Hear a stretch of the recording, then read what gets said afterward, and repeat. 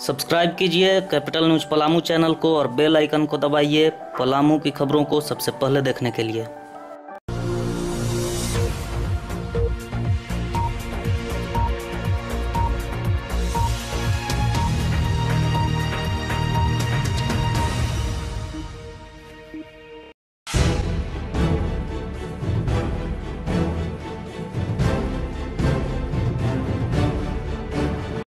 शहर थाना पुलिस ने गुप्त सूचना के आधार पर मेदिनीनगर शहर थाना क्षेत्र के शाही समाज चौक से एक अपराधी कुंदन कुमार को गिरफ़्तार किया है। पुलिस ने गिरफ़्तार अपराधी के पास से एक पिस्टल, दो ज़िंदा कारतूस बरामद किया है। जानकारी के मुताबिक गिरफ़्तार अपराधी चोरी और लूट जैसी घटनाओं को हथियार के बल पर अंजाम दिया करता था। पुलिस को इस अपराधी की काफ़ी दिनों से तलाश थी। इस अपराधी के साथ संलिप्त और लोगों की तलाश पुलिस कर रही है।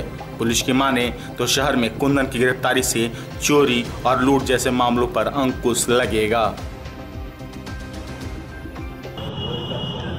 पलामू टाउन थाना क्षेत्र से चोरी और छिनतई के अभियुक्त कुंदन कुमार का 315 हथियार और देसी आर्म्स और ज़िंदा गोली के साथ अरेस्टिंग किया गया है। ये पूर्व 2014 में इसने जो है जो है चोरी की घटना को अंजाम दिया था घर में घुस के। तो इसके पास एक देसी पिस्टल और दो ज़िंदा गोली बरामद हुआ है। आर्म्स एक्ट के केस में इसको जेल भेजा जा रहा है।